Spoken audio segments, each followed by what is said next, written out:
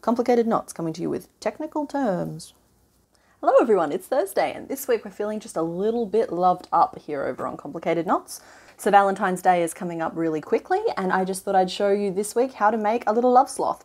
Okay, so we're going to do this sloth in a little bit of an unconventional order this time. We're going to start with the little heart that he's holding. We're then going to make his little jelly bean of a body. We then make his little face mask as a separate piece. We make that kind of heart-shaped as well, just to carry on with the theme. We'll then be making his little arms and legs.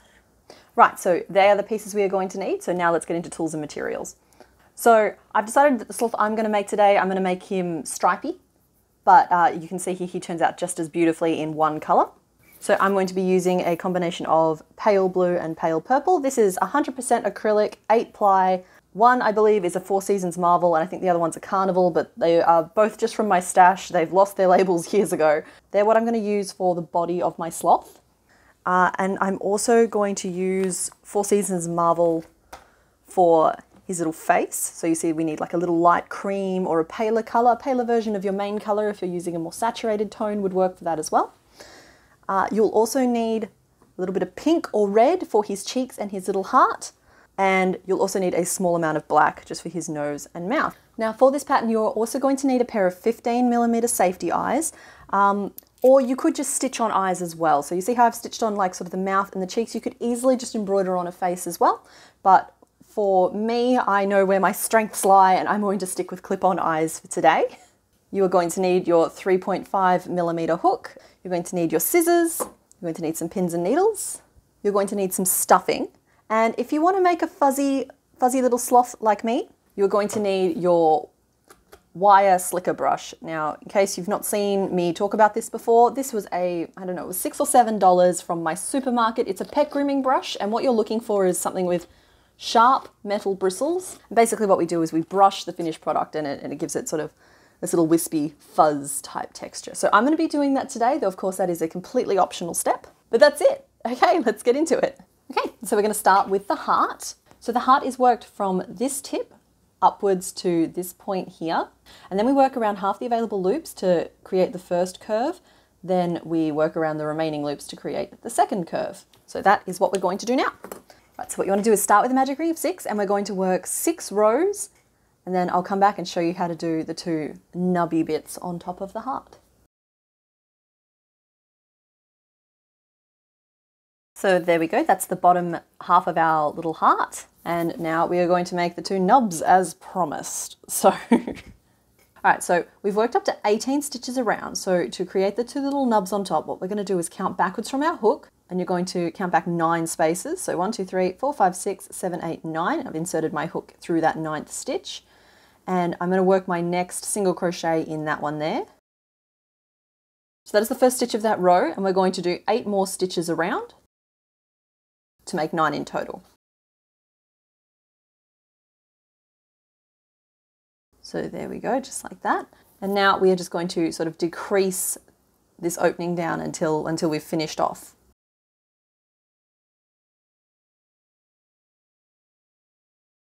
So because I don't want the heart to be too pointy, I've actually finished off with six stitches still left in the round instead of continuing to decrease. And I'm just going to insert my hook through each of those stitches and weave through the remaining tail. And just like a little drawstring bag, we'll be pulling that little opening shut. And of course, tuck your little tail inside now. So there we are, that's sort of the first half of your heart done. I am just gonna stop and we're gonna put a little bit of stuffing inside now. So about that much. You can put a little bit more in if you want, but about that much I think is a good amount. And what you want to do is focus that stuffing in the, in the nubby bit.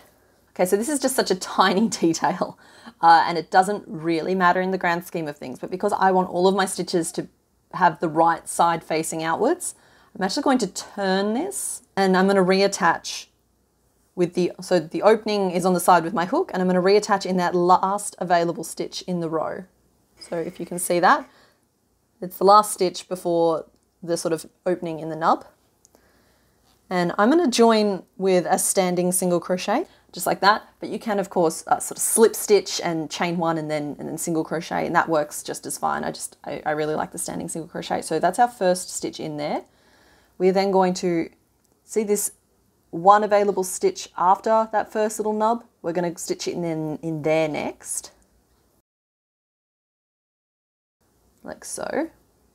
And tuck that tail in. So we've done our first two stitches and now we're going to do seven more just to complete our round of nine.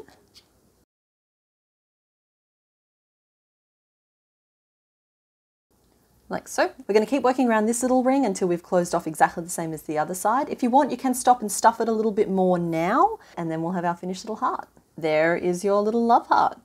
It came out so nicely. okay, so that is your love heart done. So that is part one complete, and we'll pop that to one side. And I'm going to pop the pink to one side for now as well, just because it's taking up a little bit of room here. Okay, so this does mean that we are moving on to part two, which is this little jelly bean of a body. There's nothing really special about how you work this particular piece up. I'm going to pop the instructions on the screen and then as a little bit of a treat, I'm going to try a hyperlapse this time just because I think it'll be cool with the two colors as opposed to like that, that, that sort of photo method that I normally use. So we're going to try that this time and you can let me know in the comments if you which one you prefer. So I'm going to, I'm going to swap to hyperlapse now.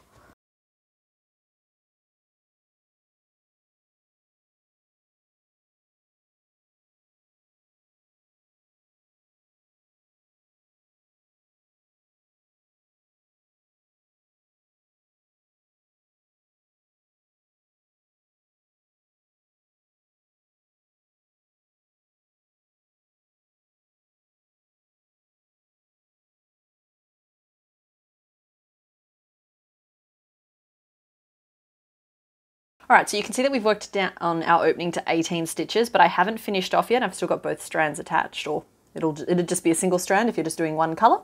Really like how those little stripes have turned out actually. so what we need to do now is put this aside and make part three, the little face. This is because I'm using plastic safety eyes. I need to clip them on through both the face and into the body, which means that I need to actually attach them before we finish off the main body piece. So yeah, we're just gonna whip up the little face now pop that to one side. Oh, those colours look so pretty together, don't you think? Oh, I just, I got to get over this pastel thing. Hopefully it'll all be out of my system soon. Right, so the sloth face is worked as a flat piece where we start at the base and we're going to work backwards and forwards uh, until we reach sort of this level on it. And at that point, what we do is we actually work backwards and forwards to work up one eyebrow, we stitch around the outer edge, and then we work backwards and forwards to work up the second eyebrow, which gives us this cute little heart-shaped face. To make the face, we are first going to chain 11. So then we're going to turn and starting in the second chain from hook, we're going to put 10 single crochet across. Okay, we're then going to chain one and turn. And then we're just going to work two rows to build up that bottom half of the face and we're going to sort of chain one and turn at the end of each of them.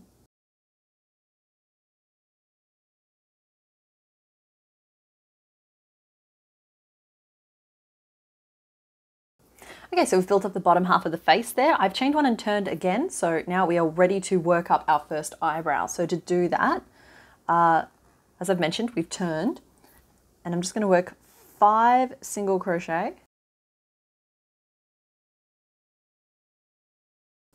Then I'm going to slip stitch twice. Then I'm going to work five single crochet again.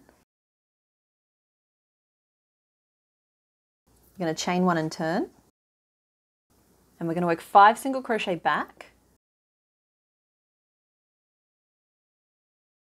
Just like that. So the next two stitches would be the two slip stitches. We're not going to stitch into those.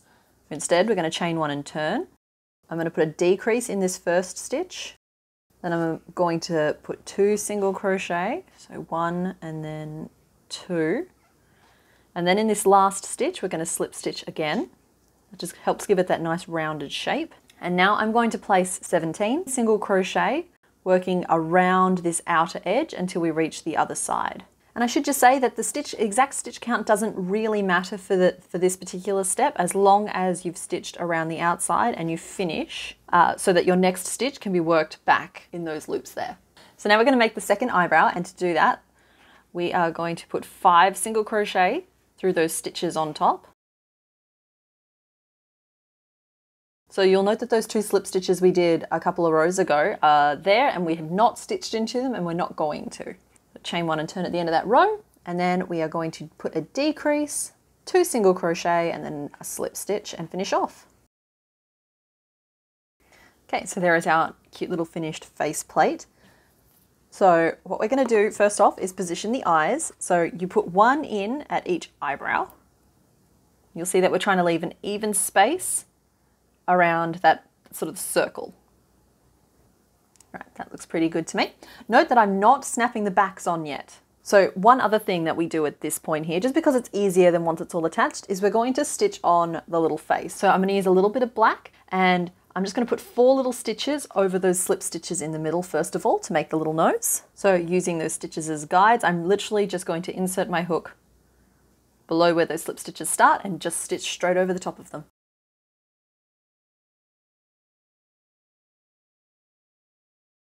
There we go. So that's the little nose. And then I'm also just going to do this little V, which is just one little stitch down and one little stitch up. And I'm going to just position that in the middle. There we go. I'm just going to finish that off. So now I'm going to use a little bit of the same pink I used for my heart to just stitch on a couple of cute little cheeks as well. I'm just going to stitch those cheeks diagonally on the outside of the eyes.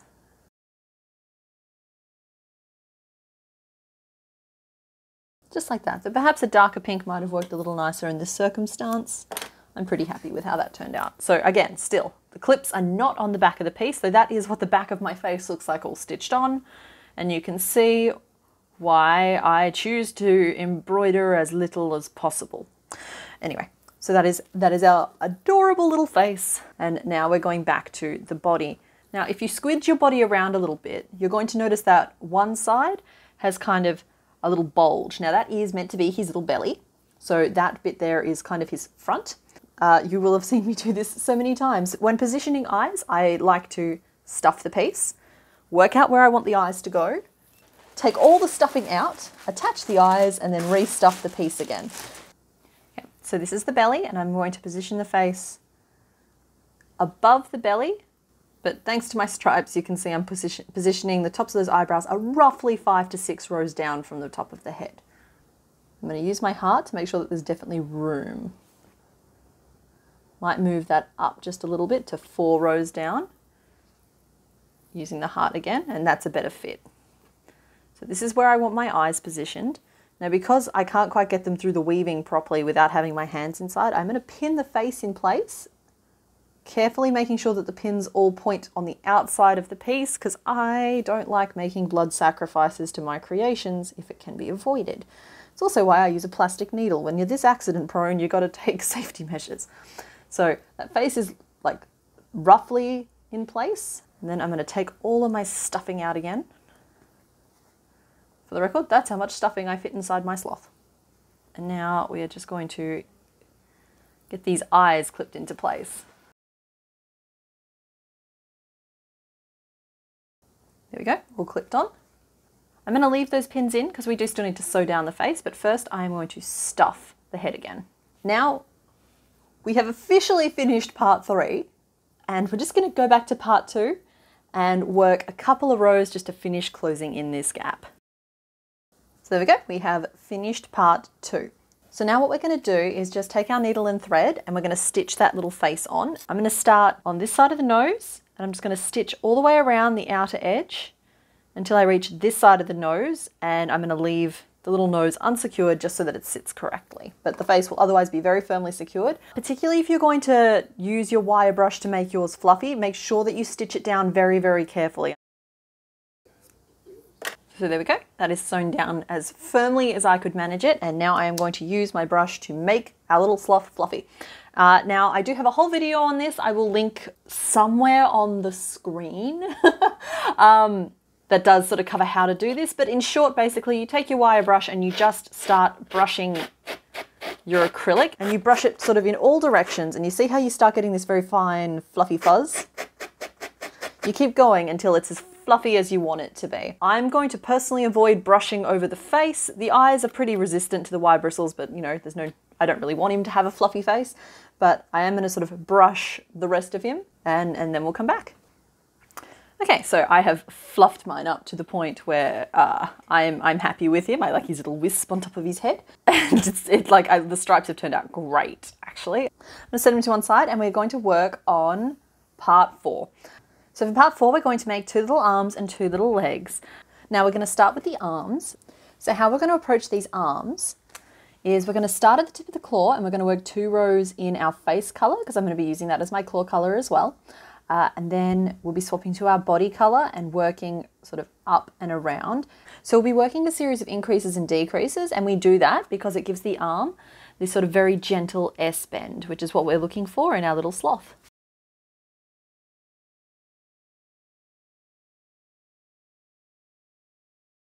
I'm just going to finish that off. So there is our arm. So there's that sort of very gentle S bend I was talking about. Now I have a gaggle of very opinionated sisters and they insisted that some kind of claw was required. But if you don't want a little claw, just do this whole thing in a body color and it'll look like, well this, it'll look like this, little paws instead. So that's our first arm and now we just need to put about this much stuffing in. If you, if you feel like it, uh, I should say I didn't stuff the arms on this one at all, but I'm just gonna put a little stuffing in on this one here just like that. And all of that stuffing is going down into the sort of the hand piece. So now we need one more just like it. Ta-da! So, okay, there are our two little arms. And now we need to make two little feet. We're going to approach those in a very similar way. Again, we're going to start at the tip of the claw and we're going to work back towards the base. This end will be open. It's just for the leg. There won't be any of the increases and decreases because we don't want it to have the same S bend. It's just going to be one chunky little nugget.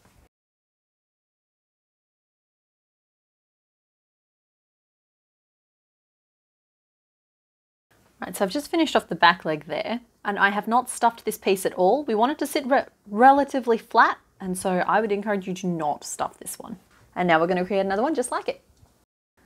So because I am doing a fluffy sloth, I am now going to take my wire brush and I'm just going to fuzz up one side of each of these limbs, depending on which way out they'll be facing, because you don't need to fuzz the, the inner side because you can't really see it.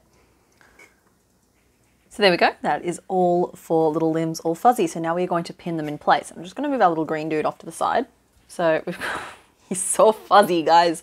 All right, so I'm going to start by working out where I want the heart to sit, which I think will be just level and center with his face.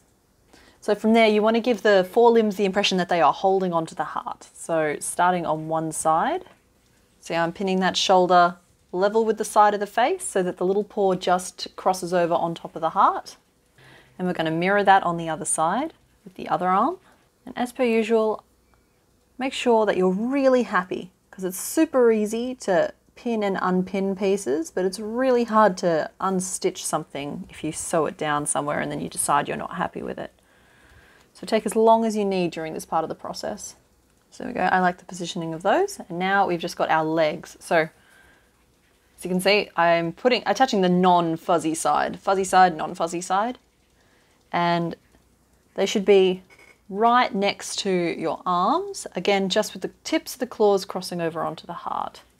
And the same on the other side. So I really like the positioning of all of those. And so now I'm just going to take some a needle and thread, I'm going to sew them all on. So I'm going to start by sewing down each of the shoulders and then I'll be stitching each of the hands onto the heart. The heart itself will only be secured onto the little claws. It will not be secured to the body as well. So we'll be sewing down the arms and then the hands to the heart. And there we go. So that is our finished little sloth. I said I used little again. So that is our finished sloth. Okay, so that's it for this week's video. Thank you so much for watching. Leave me a comment down below to let me know if you like prefer him with the claws or without. So a written version of this pattern will be available in my Etsy store and will also be sent out to my patrons. Um, I will leave links to both below in the description. Yeah, if you want to see more patterns like this, please like and subscribe. Uh, next week, I'm going to be doing a design challenge, so it's not a pattern. If any of you have seen any of my original videos, uh, what I do is I take an idea that I'm really interested in, and I just see how far I can push it and I've got a really exciting one planned for next week. So hit the subscribe button so you, that you don't miss out on that because I think it's going to be really cool. I haven't tried it yet, but I, I think it's going to be really cool. That's half the fun of those videos. But otherwise, that's it for today. Okay, bye. Ah, yes, I love you to the tips of my nubs. I'm actually frozen by how awkward that sentence was. Um,